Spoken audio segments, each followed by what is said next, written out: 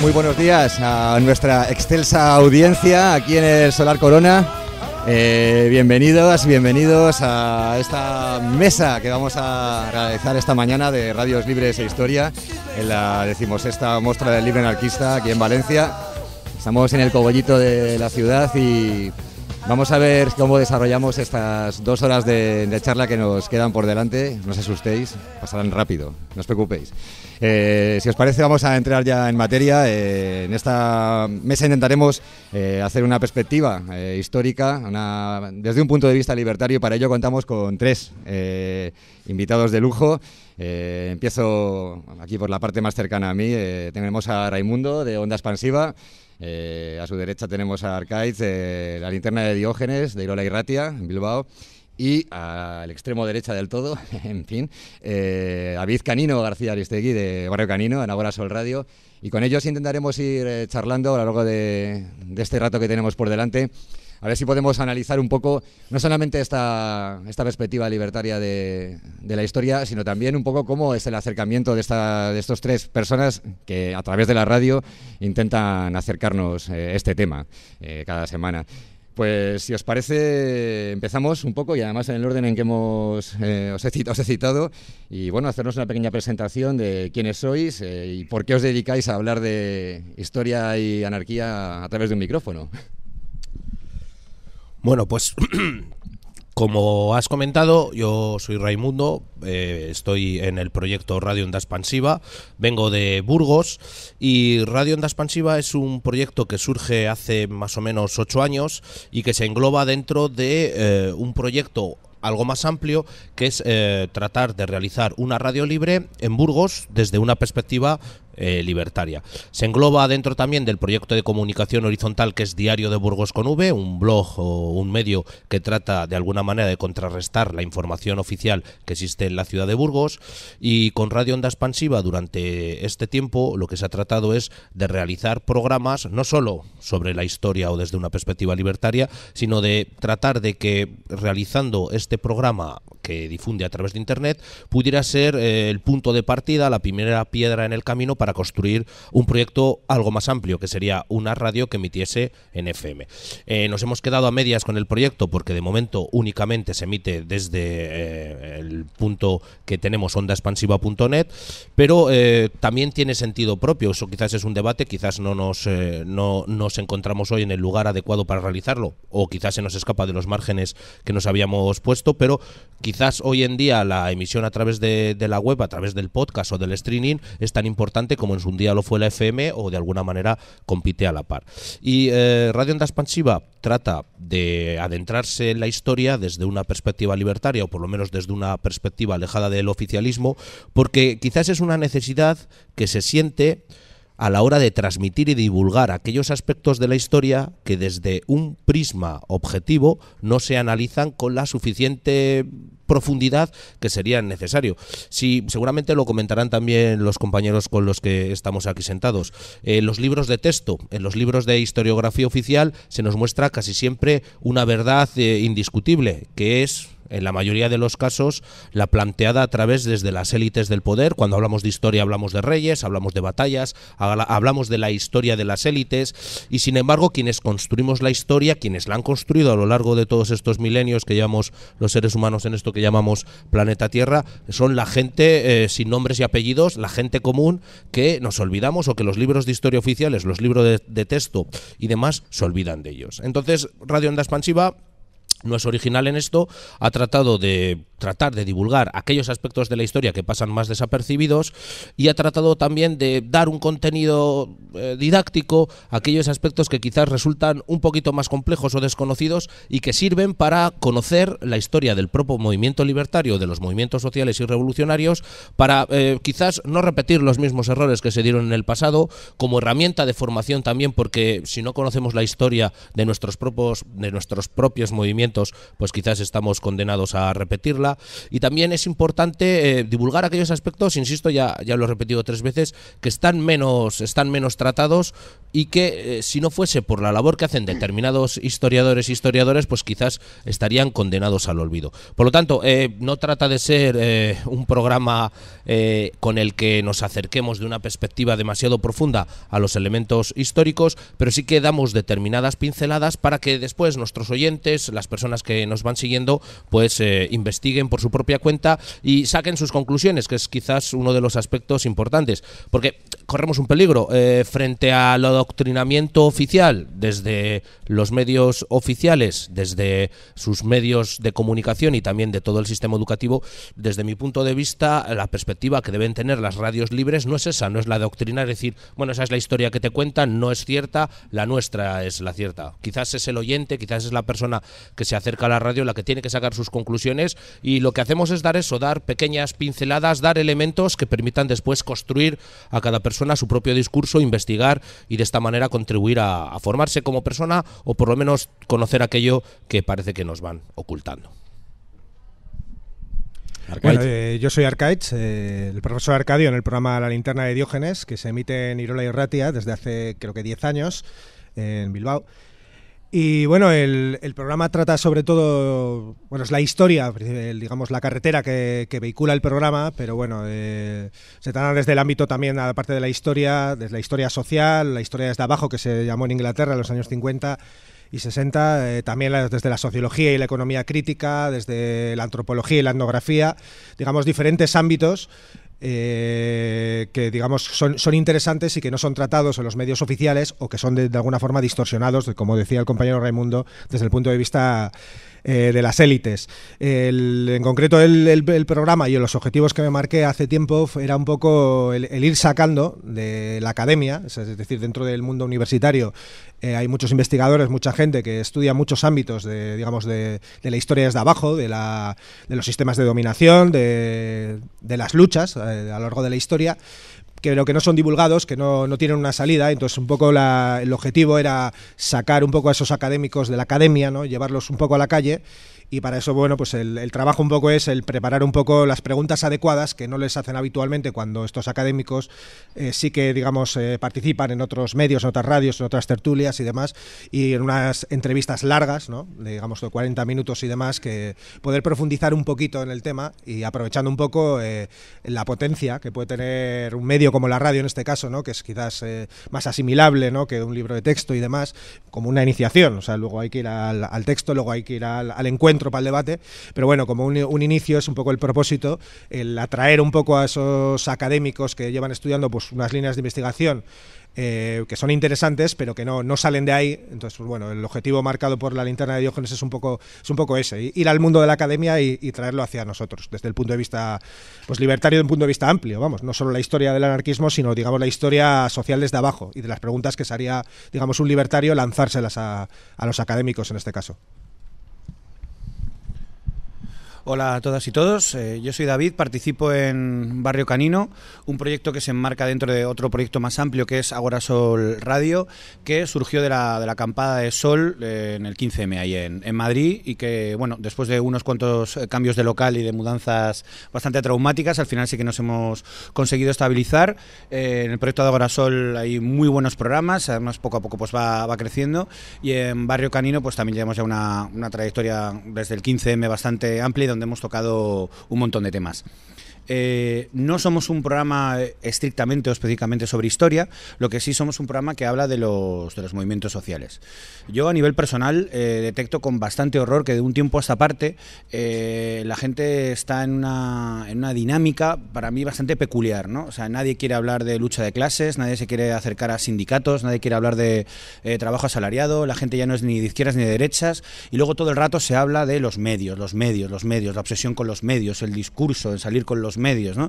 La gente de Wikileaks, que para mucha gente es como el paradigma del activismo y que es como el antecedente de los Panama Papers, estos que han salido, no cogieron y distribuyeron todos sus contenidos a través de medios, lo que antes se llamaba la contrainformación. Rápidamente se fueron a The Guardian, a El País, ¿no? es decir, empresas capitalistas con intereses más que evidentes y cómo se despreciaba todo ese bagaje y todo ese trabajo de años que ha habido en de radios libres, de, de medios que con muchísimo esfuerzo y con muchísimo activismo se han ido manteniendo.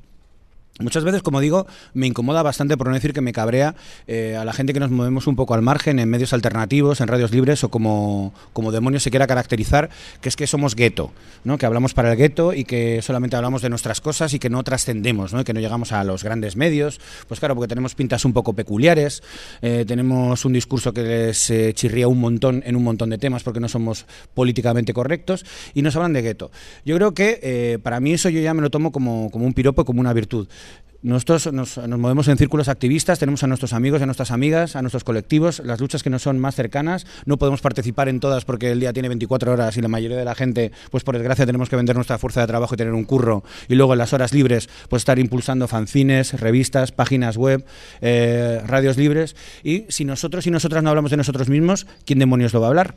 ¿No? Tendremos que hablar nosotros y dar nuestra propia perspectiva. Entonces, simplemente añadiendo lo que han dicho los, dos compañeros previamente, que yo estoy totalmente de acuerdo, hay un montón de compañeras y compañeros muy brillantes dentro de la academia, digo lo de la academia sin segundas, o sea, en, plan bien, ¿no? Son compañeros y compañeras académicos y activistas que escriben muy buenos textos, hacen divulgación, y luego pues tenemos también compañeros y compañeras pues que a lo mejor eh, no escriben tan bien o no escriben o se expresan un poco peor, pero aún así yo creo que tenemos que darles un espacio siempre para que se expresen, tanto en nuestros medios como en nuestras radios, que nos cuenten cómo son sus luchas, porque yo creo que hay que compartirlas, eh, aprender de ellas y sobre todo difundirlas lo máximo posible porque, insisto, si no lo hacemos nosotros y nosotras, eh, no lo va a hacer nadie. Y a mí no me importa si una lucha es vendible, no es vendible, eh, puede ser trending topic en el puto Twitter o va a salir en público o donde sea. Yo creo que son nuestros propios medios, nuestras propias luchas y son esas las que tenemos que difundir. Y eso para mí sí que es un componente muy importante de lo que saben llamar historias desde abajo. Es decir, nosotros mismos tenemos que darnos voz a nuestras propias luchas. Si tenéis que elegir un, tema relacionado con la historia, pues que no está aquí, ¿no? Desde, el punto de vista libertario, el que hayáis tratado en vuestro programa, además, mm, ¿con cuál os quedáis? O sea, ¿cuál es vuestro, o vuestro favorito? Uno que digáis, oh, aquí es que me gusté.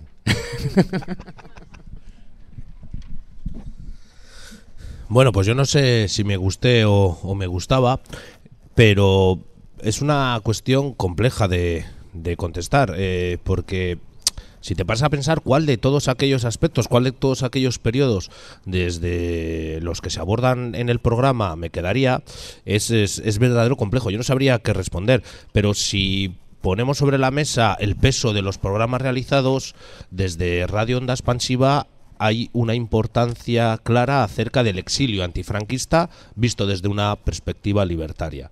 Y si este es un hecho concreto, eh, que duda cabe que todo lo relacionado con, la lucha antifranquista desde una perspectiva libertaria ha tenido un peso importante en, Radio, en Radio Onda Expansiva. Desde la lucha que jóvenes libertarios en los años 60 llevaron a cabo con el franquismo, que a algunos de ellos incluso les costó la vida, como Granado y Delgado, que ha sido uno de los elementos básicamente recurrentes en nuestra radio. Hemos entrevistado a, familiares, hemos entrevistado a compañeros de los mismos, hemos tratado de, tratar de entender qué es lo que tenían en la cabeza estas personas que trataron de, de, terminar con el franquismo, en ocasiones incluso por la vía definitiva de eliminar físicamente a Franco, no lo consiguieron y por eso quizás estamos hoy aquí. Eh, y quizás este es uno de los momentos más, más concretos. También el hecho de estar eh, vinculados a un lugar concreto tan eh, tan determinante como va a ser Burgos, nos ha llevado a, a, conocer aquellos aspectos de la historia de Burgos menos divulgados.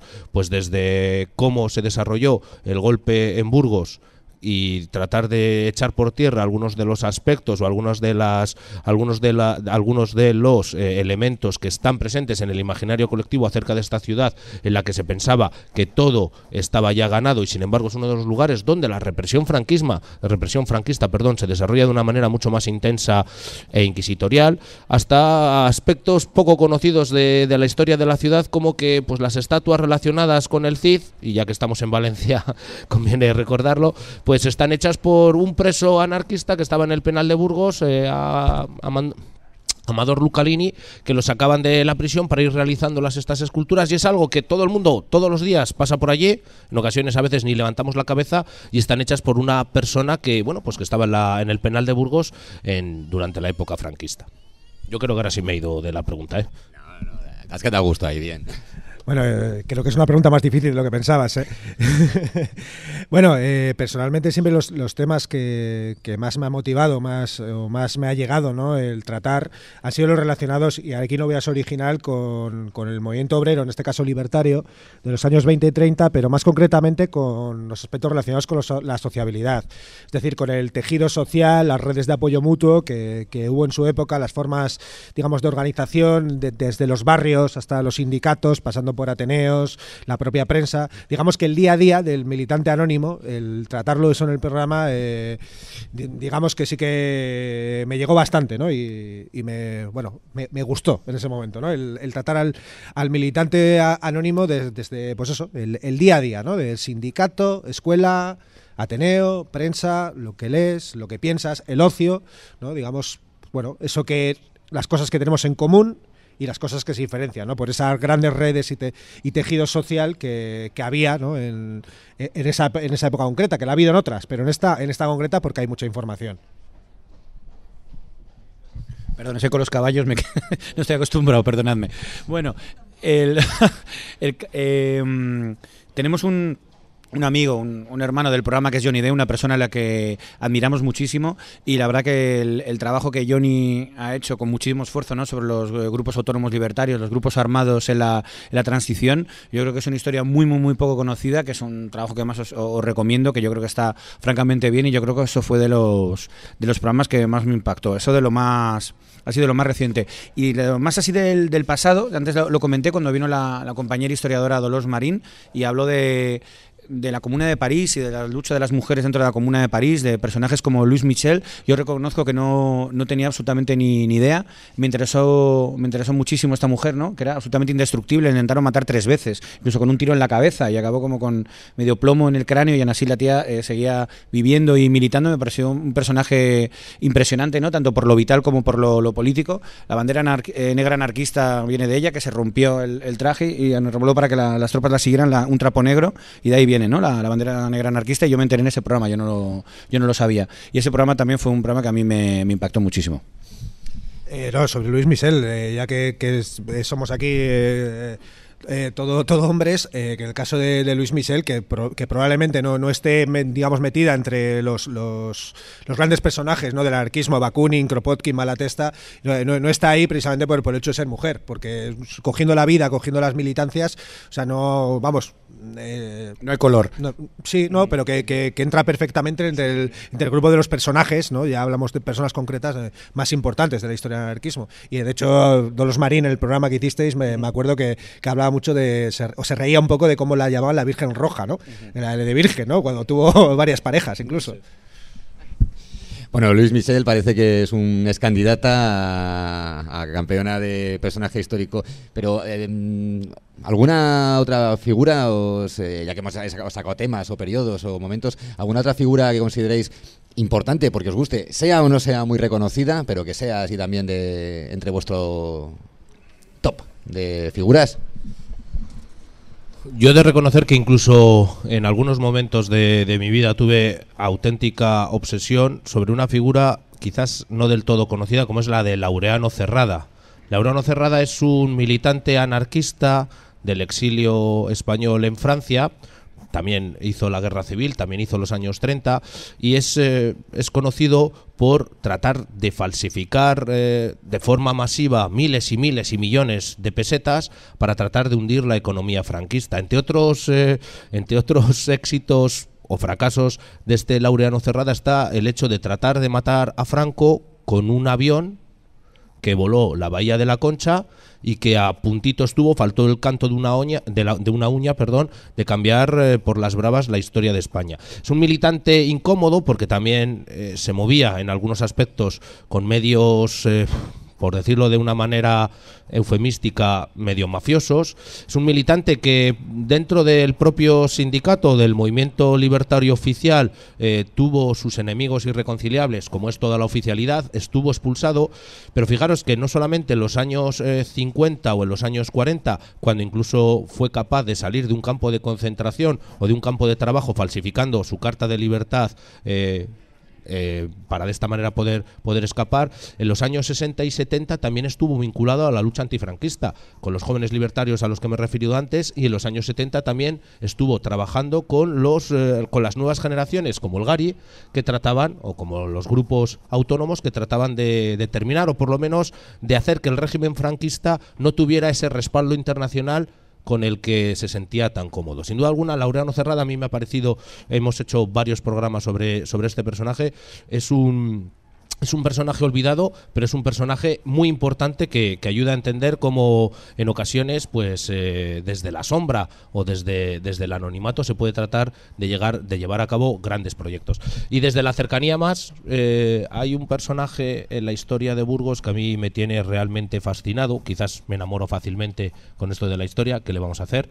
Eh, hay un señor que se llama Diego Marín Aguinera, que a finales del siglo XVII fue el primero que voló en nuestro país. Eh, pensar que estamos hablando de un pueblo perdido allí en, en, la meseta castellana, Coruña del Conde, a finales del siglo XVII. Este señor era analfabeto, era completamente iletrado, pero tenía una inteligencia intuitiva y era pastor. Y se dedicaba a contemplar los buitres que revoleaban en torno a, a los ganados que cuidaba y dijo, bueno, pues si estos pájaros, algo que ya lo tenemos en el propio Leonardo da Vinci, ¿no? Si estos pájaros vuelan es porque tienen plumas. Se construyó su aparatito, él era un ingeniero con una inteligencia, insisto, intuitiva y desde su pueblo hasta otro que ya está casi en la provincia de está en la provincia de Soria como es Burgo de Osma, pues a finales del siglo XVII llegó a volar. Luego en programas como Al filo de lo imposible lo han repetido y bueno, con menos con menos incidencias que Diego Marín Aguilera, este se pegó una hostia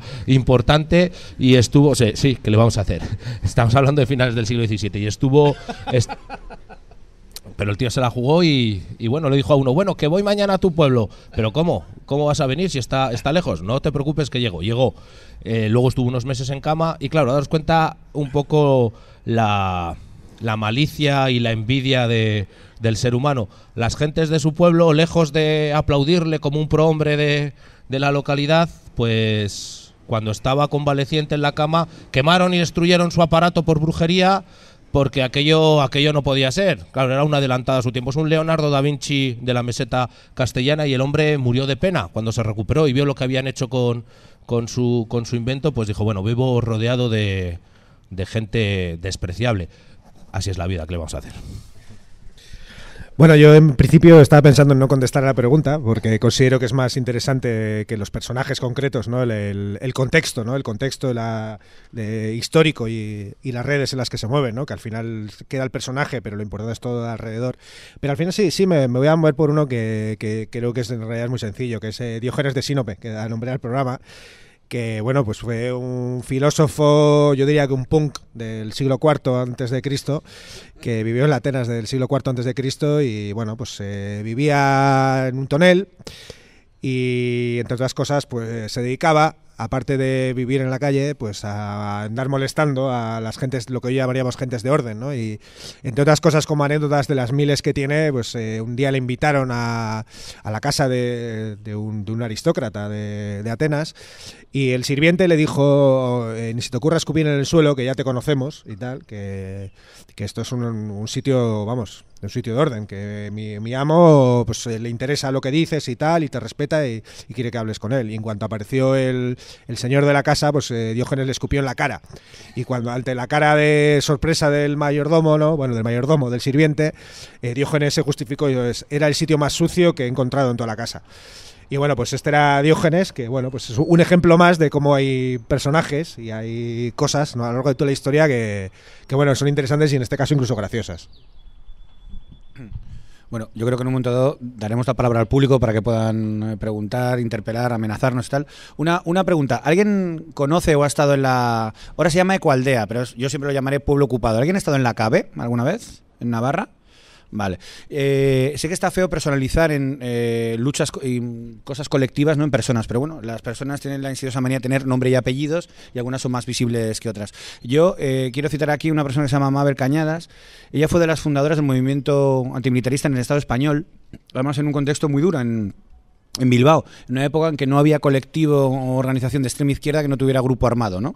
Fuera con actividad real o básicamente para decir que tenían grupo armado, ¿no? Para, para no ser de menos. En ese contexto y con todo absolutamente a la contra es cuando surgen los primeros movimientos, el movimiento de objeción de conciencia, que muchos años después impulsaría la, la campaña de su visión. Mabel estuvo ahí y tiempo después deci- eh, decidió intentar ser lo más coherente y consecuente con sus ideas. Es decir, tanto que hablamos de llevar eh, modos de vida alternativos y de lo mal que se está en el capitalismo, bueno, pues cogieron y se eh, ocuparon un pueblo, no les salió bien, ocuparon unos segundos, que fue la CABE y que a día de hoy eh, sigue funcionando, que fue además como un referente para un montón de otros pueblos ocupados y de aldeas, y que posteriormente, aparte de haber sido central en los inicios del movimiento antimilitarista, también eh, fue muy un pilar muy, muy importante y fundamental en la lucha contra el pantano de Itoiz, donde también hubo una acción muy famosa, no sé si os sonará, cuando se cortaron los cables del pantano de Itoiz con unas penas de cárcel muy, muy grandes. Bueno, pues de esa gente que estaba por esa zona de varios pueblos ocupados, porque además eh, no solamente hay uno, hay, hay varios, también se implicaron muchísimo con todo el tema de las luchas de- del pantano de Itoiz. Yo creo que es una, un- una persona a tener muy en cuenta. No hay muchos, pero sí que si buscáis en internet algunos textos de ella, creo que es muy interesante lo que plantea en la manera de, enfocar el activismo desde los feminismos y sobre todo de lo que es y saliendo de la ciudad y el reencuentro con pequeñas sociedades alternativas como son los pueblos ocu- ocupados o aldeas.